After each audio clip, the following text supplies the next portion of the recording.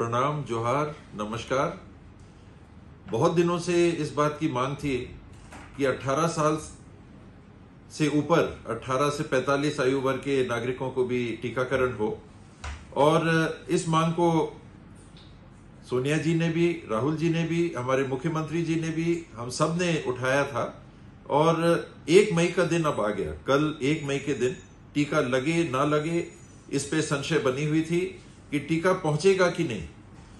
हमने तैयारी रखी थी स्वास्थ्य विभाग की ओर से, लेकिन टीका पहुंचेगा कि नहीं, इसका निर्णय नहीं था। आज माननीय मुख्यमंत्री जी ने वरिष्ठ अधिकारियों के साथ सभी मंत्रिमंडल के सदस्य उपस्थित थे।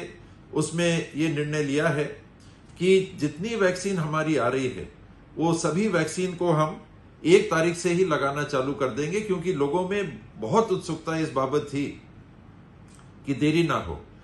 क्योंकि हवाई जहाज़ से ये वैक्सीन करीब साढ़े ग्यारह बजे पहुंचेगी, हमारा अनुमान है कि वेयर हाउस में साढ़े बारह बजे तक ये वैक्सीन आ जाएगी।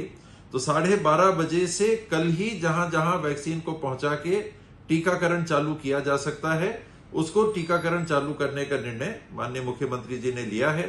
इसमें यह है निर्णय साथ में कि सामाजिक न्याय को भी ध्यान में रखते हुए सबसे पहले अंत्योदय वर्ग के, जिनके राशन कार्ड गुलाबी राशन कार्ड कहते हैं, अंत्योदय के राशन कार्ड हैं, उनको नागरिकों को पहले लगेगा, फिर बीपीएल के नागरिकों को लगेगा और फिर एपीएल के नागरिकों को लगेगा। जैसे जैसे वैक्सीन आती जाएगी